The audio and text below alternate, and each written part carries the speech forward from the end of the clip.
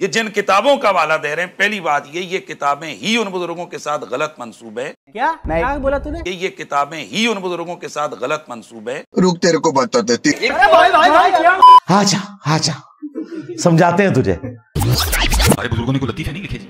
ये किताब है तस्करा गौसिया। ये गौस अली शाह साहब तआला के मलफूजात फरमाते मैं हज करने के लिए गया और मैं बंबई बंदरगाह से बहरी जहाज़ में बैठा। मैंने कहा आप जहाज़ के मोहल्ले में उसने कहा "हाँ।" अब कहते मैंने कहा यार हर साल तू हाजी लेके जाना है तो लैके भी आना है। ਤੇ ਚਲੋ ਜਾਂਦੇ ਆ ਤੇ ਕੋਈ ਵਲੀ ਨਾ ਹੋਏ ਲੇਕਿਨ ਆਉਂਦੇ ਆ ਤੇ ਸਾਰੇ ਵਲੀ ਹੋ ਕੇ ਆਉਂਦੇ ਨੇ ਤੇ ਅਜੇ ਤੱਕ ਕੋਈ ਤੂੰ अल्लाह का यार देखिए अफरों वो मौली मुझे सर से लेकर ना पाँव तक देख के कहता हजरत सारी जिंदगी में दो ही अल्लाह के दोस्त देखे कहते इसी तरह जहाज बंबई बंदरगाह से निकला थोड़ा सा जहाज आगे गया होगा तो एक बाबा जी आ गए और आके मेरे वाले साहब को कहते हैं मौलिम साहब ये तो बताएं जद्दा कब आएगा तो कहते हैं मेरे वाला साहब मुस्कुरा के कहने लगे बुजुर्ग को वो ये तो जहाज बंबई बंदरगाह तो चले आए ग्यारह दिन लगने ने फिर जद्दा आएगा कहते हैं बाबा जी चले गए असर पढ़ के फिर आए वही सवाल मेरे वाला साहब का भी वही जवाब फिर चले गए मगरी पढ़ के फिर आए फिर वही सवाल इस दफा मेरे वाला साहब गुस्से में आ गए कहने लगे बाबा जी गल ना करिए बार बार ना हो मेरे मैं तो ग्यारह दिन तो पहले ले आ नहीं सकता जो तुम ले आ सकते हो तो ले आओ। कहते हैं वो बाबा जी मेरे वाले साहब को कहते हैं फिर सबसे पहले कौन सी बंदरगाह आएगी? कहते मेरे वाले साहब ने कहा मुखा फिर कौन सी आएगी? हुदैदा फिर कौन सी आएगी? अदुल फिर कौन सी आएगी? मेरे वाले साहब ने कहा जद्दा तो बाबा जी कहते हैं देखो जद्दा आ गया जी। तस्करा है गौसिया हमारे बुज़ुर्गों ने कोई लतीफे नहीं लिखे ये तो टट्टी है। गुड आंसर देखो कितना बुजुर्गां और उलमा मज़ाक उड़ा रहे हैं सब बैठ के यही नहीं अभी और सुनिए। हज़रत अबुल हसन खरकानी एक बुज़ुर्ग गुजरे। ये हज़रत बाइजीद बुस्तामी के सजादा नशीन थे। बू अली सीना साइंसदान है बहुत बड़ा हज़रत अबुल हसन खरकानी का मुरीद था।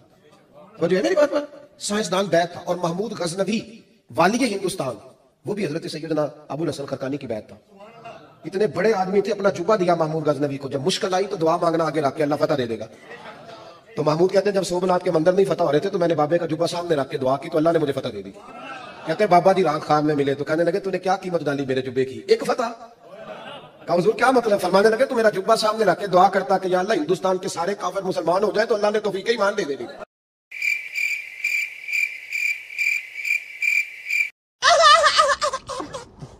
अग्गे टूरो। हज़रत शाह नक्शबंद बुखारी अलैह रहमा नक्शबंदियों के इमाम हैं सरखेल हैं इमाम हैं मुर्शिद हैं। आप काबल में तशरीफ़ लाए तो बादशाह के घर में काम करने वाली एक खातून आपसे रूहानी नस्बत कायम कर लेती है। बहुत सारे लोग थे जो हुजूम में आपसे नस्बत कायम कर रहे थे तो उसकी नस्बत भी कायम हो गई। तो वो सीधी सादी खातून थी माफ़ करना मैं गुस्से में इधर उधर निकल जाता हूँ उसने पूछा कि ये जो पीराने अजाम हैं इनसे नस्बत कायम करने का क्या फ़ायदा होता है तो कहा दुनिया आखिरत की बरकतें मिलती हैं और औखे वेले कम भी आ जाते हैं सारी कहानियाँ खैर वो ने पहले ही थी जब निस्बत कायम हुई तो और रंग चढ़ा और इतनी दयानत से शाही महल में काम किया कि बादशाह उससे बहुत ज़्यादा उस पर एतमाद करने लगा जो उसकी हम मनसब थी उन्होंने उससे हसद किया और बादशाह के घर का जेवर चोरी करके उस पर इल्ज़ाम धर दिया और गवाहियाँ भी दे दी। बादशाह को बड़ा गुस्सा आया कि मैं इतना एतमाद करता हूँ और इसने मेरे घर के अंदर चोरी की। उसने कोई बात सुने बगैर कहा कि इसको ले जाओ और महल की छत से ऊपर गिरा दो। ताकि ताकि बाकियों को इबरत हो जाए कि बादशाहों के घर कितने मुकदस होते हैं और वहाँ ऐसी हरकतें नहीं की जाती। उसने चीख के कहा, मैंने चोरी नहीं की, लेकिन उसकी कौन सुनता? खैर, उसको छत पे ले गए। जब फेंकने लगे तो उसके दिल में ख्याल आया। वो किसी ने बताया था कि ओखे वेले बुज़ुर्ग काम आते हैं। तो इससे बढ़कर ओखा वेला हो क्या सकता है? तो उसने बुखारी की तरफ़ मुँह करके कहा लिल्ला चू गदाए मुस्तमंद, अल मदद खाम दिशाह नक्शबंद.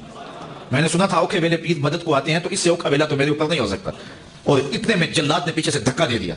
जब वो नीचे गई तो हज़रत शाह नक्शबंद बुखारी ने पकड़ के आराम से ज़मीन पर रख दिया। तो हैरजदा हो गया हज़रत, आप कब आए थे? कहा, तू आज चबारा आम थी मन आज बुखारा आम दम तू चबारे से चल पड़ी थी, मैं बुखारे से चल ये तब्दील तो नहीं हुआ, ज़ाहिर साकिब रजा मुस्तफ़ाई साहब जब बयान कर रहे हैं तो ये वाक्य तब्दील तो नहीं हुआ ना? इसके साथ तो हम ये कर सकते हैं ना सब कुछ। और अभी तो रुको। तो मुर्शिद है मिसबाई साहब। हाँ। अब मिसबाई साहब जो कुछ बयान कर रहे हैं बुज़ुर्ग ही लिख के गए में है। ये कश्मीर मजूब में वाक्य लिखा हुआ है। वो आप फरमाते हैं दरख्त के नीचे आके ना ये फ़िक्र दाऊद ज़ुबान से। या अल्लाह पूरा एक साल गुजर गया, तूने एक रुपया भी नहीं दिया, मैं भी नहीं माँगता। लेकिन या अल्लाह मेरे बाल इतने बढ़ गए हैं कि अगर नहीं कटवाऊँगा तो तेरे यार की शरह टूट जाएगी। अबुल फजल खुद अली अपने लिए तुझसे रुपया नहीं माँगता, इसलिए दे दे ताकि मैं बाल कटवाऊं, तेरे यार की शरह, तेरे महबूब की शरह ना टूटे। दाता हजूर कशुल मजूब में लिखते हैं, ये फिक्रे उनकी ज़ुबान से तब अदा हुए जब उस दरख्त के नीचे थे जिसके ऊपर मैं चढ़ा हुआ था। आप फरमाते, खुदा की इज़्ज़त और अजमत की कसम, पूरा दरख्त, उसकी टहनियाँ, उसका तना, उसकी जड़ें भी सोने की हो गई। सारा। हाँ सारे सोने का हो गया।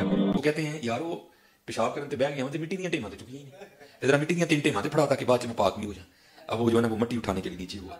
तो नीचे देखा तो ज़मीन सोने की। हाँ, ज़मीन सोने की इधर। वो बड़ा हैरान हुआ। जो उसका मेरे पास है, बड़ी मेहनत करो तो ढाई तीन माह के बाद चंद किलो ही बनेगा। ये सारी सोने की कैसे हो गई? ये क्या हुआ? दाई देखा तो सोना, बाई देखा तो सोना, आगे देखा तो सोना, पीछे देखा तो सोना। अब बाबा जी ने काम किया था। उसको आवाज़ मार लगा के कहते हैं और सन्यासी बाबे, लगता है मगर जमात छड़वा के चढ़ना क्यों नहीं मिट्टी दिया टेमा फड़ा और कहता हजूर कहाँ से पकड़ाऊं मिट्टी है जहाँ तक नज़र जाती है सोना ही सोना है। बाबा जी बाबा जी। एक सवाल है बाबा जी। अगर आप हवा में सोना निकाल सकते हैं बाबा जी तो देश की गरीबी क्यों नहीं मिटा देते बाबा? जवाब। बाबा जी जब आप खुद सोना निकाल सकते हो तो हम लोगों से चंदा क्यों लेते हो बाबा जी? अच्छा जवाब। हरिओम हरिओम हरिओम ये रॉन्ग नंबर है। ये रॉन्ग नंबर है। ऊपर देखा तो सोना नीचे देखा तो सोना। दरख्त सारे का सारा सोने का और पत्ते सोने के और जड़ें भी हाँ ना एंड तक कहते हाँ ना यानी मैं भी होते ही सा। हाँ यही मतलब होता है ना। वो 2009 के अंदर जो इसी मुफ्ती हनीफ कुरैशी ने एक मुनाजरा किया, जिसकी बुनियाद के ऊपर इसने सारा ये फेम कमाया और शोहरत कमाई अपने फिरके के अंदर। अब तो खैर रिजेक्ट हो चुका है अपने फिरके में। उस मुनाजरे के अंदर इसने खुद चिश्ती रसूलुल्लाह और शिबली रसूलुल्लाह का दिफा किया हुआ है। मुफ्ती, झूठ बोलता है। कि बुज़ुर्गों की किताबें बदल गई। 2009 में तूने वीडियो में दिफा किया है शतीहात के नाम के ऊपर। शिबली बोले इस तरह पढ़। ला इलाहा इल्लल्लाह शिबली रसूलुल्लाह। और खत्मे नबूवत के डाकुओं। शिबली को रसूल बनाने वालों। ला इलाहा इल्लल्लाह चिश्ती रसूलुल्लाह। ला इलाहा इल्लल्लाह शिबली रसूलुल्लाह। इन्होंने फिर पढ़ा ला इलाहा इल्लल्लाह शिबली रसूलुल्लाह। अब बात ये है, इन्होंने शिबली को क्या कहा? कौन है? काफिर। काफिर है। इनके उलमा ने लिखा शिबली ने जितनी बातें की हालत सुकर और मस्ती में की खबरदार जीन हार हर किस ऐसे सूफिया के बारे में जबान न खोलना। तुम बकी जा रहे हो? तुम्हारे काबिर कह रहे हैं ना खोलना। तुम बकी जा रहे हो? खबरदार जीन हार हर किस ऐसे सूफिया के बारे में जबान न खोलना। तुम बकी जा रहे हो? तुम्हारे काबिर कह रहे ना खोलना। तुम बकी जा रहे हो? और सिर्फ़ हनीफ कुरैशी ने नहीं दिफा किया हुआ। वो जो नूरी वाला मुनाजरा है, उसमें भी इन्होंने चिश्ती रसूलुल्लाह वाले वाक्य का दिफा किया और वो एक लाहौर का छोटू मौलवी जो है, वो पीछे सुगड़ा सा बैठा हुआ सुबहान भी पढ़ रहा है। आज वो कह रहा है किताबें बदल गई, वो भी झूठ बोल रहा है। खाजा ने क्या फरमाया? सुनो कि मैं कौन हूँ और क्या हूँ? मोहम्मद रसूलुल्लाह सल्लल्लाहु अलैहि वसल्लम के दरबार के कमीने गुलामों में से एक हूँ। कमीने गुलामों में से एक हूँ। कमीने गुलामों में से एक हूँ। और इससे बड़ा छक्का इनके लिए यह है कि 1921 में आला हज़रत अहमद बरेलवी की डेथ हुई है। उन्होंने फतावा रजविया के अंदर सबा सनाबिल एक किताब की तारीफ़ की है और कहा कि रसुल्ला की बारगाह में यह मकबूल है। उसमें भी चिश्ती रसुल्ला लिखा हुआ है। अगर आला हज़रत को पता था इसमें चिश्ती रसुल्ला लिखा हुआ है तो आला हज़रत गए। और अगर उन्हें नहीं पता था, उनकी बुजुर्गी चली गई उन्हें पता ही नहीं चला कि कूड़ लिखे थे और नबी इस्लाम पे झूठ बाँध दिया, बगैर तहकीक के बात कर दी। लेकिन एक सेकंड। चाची भी वापस लेके आएगा। चाची फारग हो गई।